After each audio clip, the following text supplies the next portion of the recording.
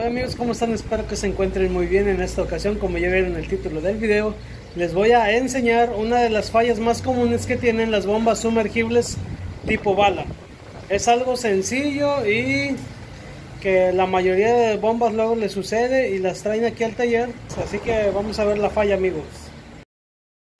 Bueno, aquí tenemos una bomba tipo bala. Esta es de capacidad de un caballo. Si se fijan, aquí está de un caballo de... No, perdón, de un caballo y medio es la capacidad. Y la falla más común que tienen este tipo de bombas es que la gente luego dice, lo que pasa que ya mi bomba la prendo y no echa agua.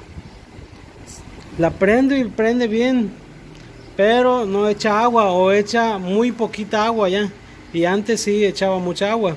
Una de las fallas más comunes es que se rompe esta pieza. El niple tipo botella.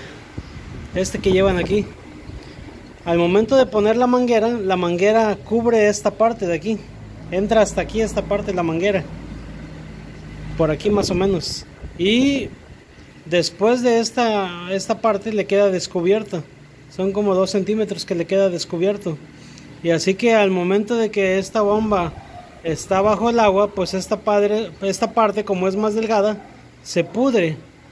Se echa a perder, se oxida y se le hace un agujero aquí por la presión que tiene la, eh, la bomba. Así que se le hace un agujerito por aquí, de estos lados. Y ese agujerito tiene una fuga de agua. Y al momento de que tiene la fuga de agua, pues ya no sube todo el agua hacia arriba con presión. Así que deja de echar agua la bomba. O la otra es de que echa muy poca agua. Y traen la bomba y la checamos y nada más le cambiamos este adaptador tipo botella. Y ya queda como nuevo otra vez.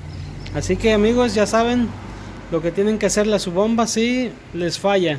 Puede ser que tenga un agujerito aquí o que esté perforada la manguera que va hacia arriba. Amigos, espero que les haya gustado este video y dejen su like y comenten qué otra falla tiene sus bombas para ver si podemos contestarla. Así que nos vemos en un próximo video amigos.